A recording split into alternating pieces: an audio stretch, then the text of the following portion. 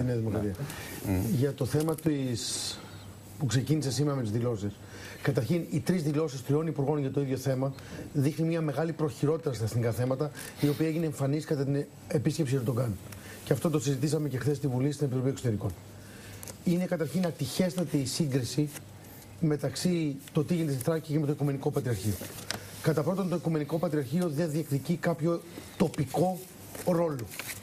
Οικουμενικό είναι, έχει ένα παγκόσμιο ρόλο στην Ορθοδοξία. Και η Τουρκία πράγματι ασκεί ασφιχτικές πιέσεις στο ποιος εκλέγεται Οικουμενικός Πατριάρχης. Καταρχήν ελέγχει απόλυτα τη λίστα υποψηφίων δια της τουρκικής υπηκότητας. Άρα δεν είναι τόσο ανοιχτή η διαδικασία όσο λέγεται.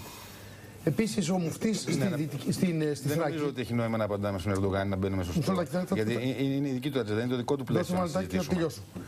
Καταρχήν, επίσης και ο, ο Μουφτής στη Θράκη έχει και δικαστική εξουσία. Ναι. Δεν είναι ένας θρησκευτικός ηγέτης μιας τοπικής κοινότητας. Ναι. Και είναι ένα μεγάλο θέμα αυτό που θα το συζητήσουμε με το νομοσχέδιο για τη Σαρία. Εγώ θα πω δύο πράγματα που με ανησυχούν. Πρώτον, είναι εμφανές ότι η Τουρκία εμφανίζεται με μια αναθεωρητική διάθεση. Και η Ελλάδα δείχνει από μόνη της, λίγες μέρες μετά την επίσκεψη, να υποκύπτει σε μια αναθεωρητική λογική, χωρίς καν να υπάρχει ε, μέτρα και αντίμετρα, χωρίς να υπάρχει καν αυτή η λογική.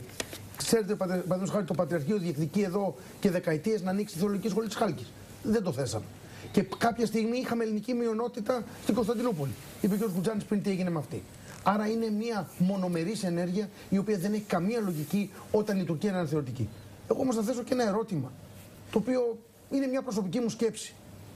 Μήπως τελικά στα πλαίσια της επίσκεψης Ερντογκάν υπάρχει μια μυστική συμφωνία, μια ατζέντα, κάποια σημεία που συμφωνήθηκαν και η Ελλάδα αρχίζει και υλοποιεί.